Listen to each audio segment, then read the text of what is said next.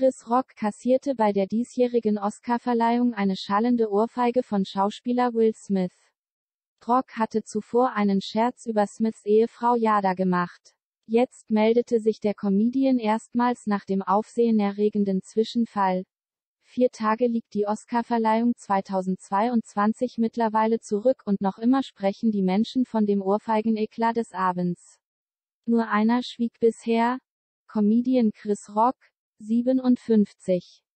Jetzt erklärte der Schauspieler während eines Stand-up-Auftritts in Boston, weshalb er sich bisher nicht zu der Attacke gegen ihn geäußert hat.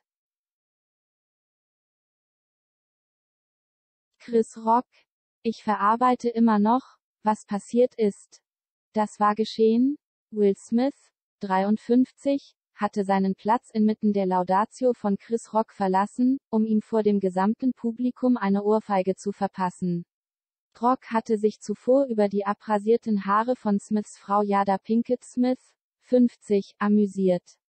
Offenbar ohne zu wissen, dass die 50-Jährige an Alopezie leidet, krankhaftem Haarausfall, für den es keine Behandlung gibt. In Boston erklärte Chris Rock nun zu Beginn seiner Show, ich verarbeite immer noch, was passiert ist. Allerdings sei es nicht der richtige Rahmen. Um ernsthaft über das Geschehene zu sprechen. Der 57-Jährige versicherte seinem Publikum allerdings, dass er sich bald detaillierter zum Vorfall melden wird. Will Smith entschuldigte sich öffentlich bei dem Comedian. Wie People berichtet, sollen einige Zuschauer, innen während des Stand-Up-Auftritts immer wieder den Namen Will Smith in den Raum geworfen haben. Chris Rock reagierte allerdings nicht auf die Provokation und blieb bei seiner Aussage, er würde sich zu gegebener Zeit äußern.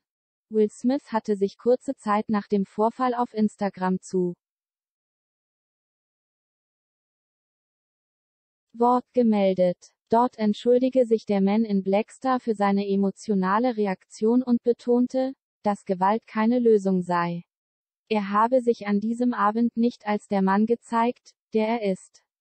Chris Rock hat bisher nicht öffentlich auf die Entschuldigung reagiert. Es heißt allerdings, dass der Kindsköpfe-Star von einer Anzeige gegen seinen Kollegen absieht.